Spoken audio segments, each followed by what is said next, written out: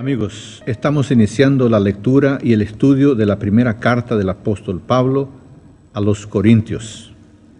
Yo quiero que ustedes lean la Biblia todos los días. Aquí yo presento solamente un resumen. La primera epístola a los Corintios fue escrita en Éfeso.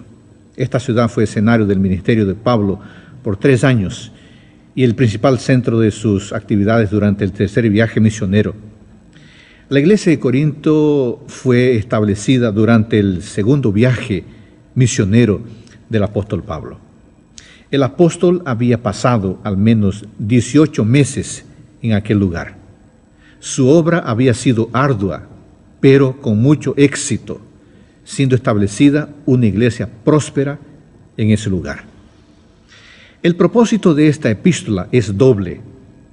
Primero, reprochar la apostasía que había provocado en la iglesia la introducción de prácticas que corrompían las enseñanzas del Evangelio. Segundo propósito fue enseñar o explicar puntos de creencia y de práctica acerca de los asuntos sobre los cuales los creyentes habían solicitado aclaración. Ellos querían aprender. En el capítulo número uno, el capítulo primero, Pablo hace un llamado hace un llamamiento a la unidad. Él dice, hermanos, pido por la autoridad de nuestro Señor Jesucristo que estén de acuerdo en lo que dicen y que no haya separación entre ustedes. El apóstol dice, estén completamente unidos en un solo pensamiento y en una sola intención. Para enfatizar la unidad, el apóstol Pablo se refiere al mensaje de la cruz. ¿Por qué? Porque él sabe que solo la salvación une a todos. Solamente la cruz es capaz de unir a todos. Y el apóstol termina el capítulo hablando del criterio que Dios utiliza para llamar a las personas y del impacto que eso causa en la vida de las personas.